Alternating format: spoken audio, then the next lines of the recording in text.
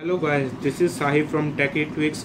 Welcome to our channel and in this video we'll review the Moto G4 Plus and before reviewing this I have used this device for almost 8 to 9 days. I was having this device on Friday night and uh, today is Saturday and it's been quite a while and I am ready, ready with my review now. So let's get started. So let's first start with display. This device has 5.5 inch Full HD IPS panel which comes to PPI of around 401 pixels per inch. The display looks sharp, vibrant and colors are really accurate too. And the sunlight legibility is one of the best you can have. And the Moto display here works really well. So all over it's a very good display. Now let's talk about the build quality of this device. This device offers plastic build quality due to which it feels really solid and planted in your hand and offers some good grip too. And due to the plastic build quality this device is actually very light as well and good to hold in a single hand as well. Let's talk about the call quality of this device which is actually loud, crisp and clear the i have no issues with the call quality of this device. Also the network reception was great. And when we talk about the front facing speakers of this device which are actually very good. I know they are not so loud but the audio quality is really good as well. The when we move to audio jack the audio jack offers some very good value but you need to have some other earphones which will be in description down below.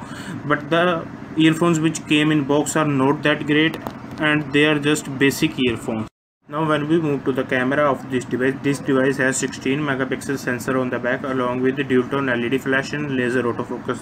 The pixel pics taken with this camera are really sharp vibrant and colors are really accurate as well along with the focusing of laser autofocus was good as well. When we move to video recording by this camera the video recording by this camera was also good. The video was stabilized the colors were good and autofocusing was great as well. The front facing 5 megapixel camera also performs very decently as well it the colors of front facing camera are nice. It can handle the abrupt exposure well. So all and all it is a very good camera in both image and video department as well. Also there are some issues when we use the camera for more than 20 minutes it starts to warm up a bit now let's talk about the performance of this device. This device is powered by Snapdragon 617 chipset which is an octa-core processor along with 3 gigabytes of RAM. It handles the general UI performance really well. There are no issues in general UI performance but when we move to highly intensive tasks like gaming it fails to impress here because it can't handles the games like modern combat 5 or asphalt 8 well.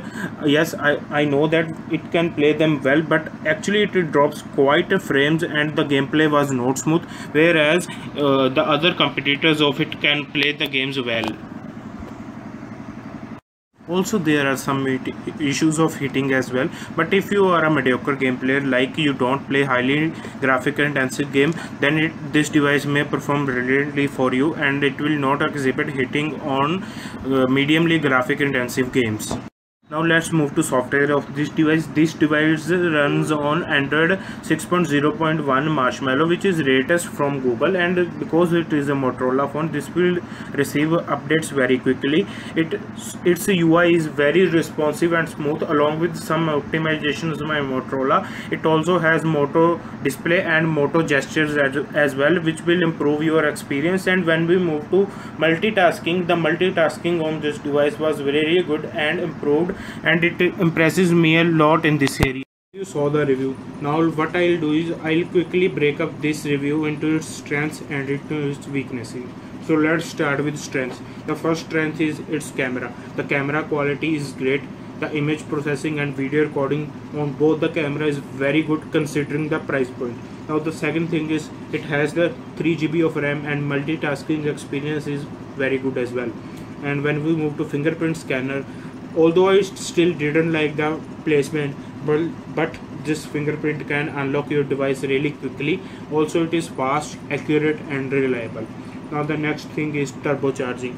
Most of the smartphone have turbocharging is a great strength but this device has a turbocharger in its box so it is very good.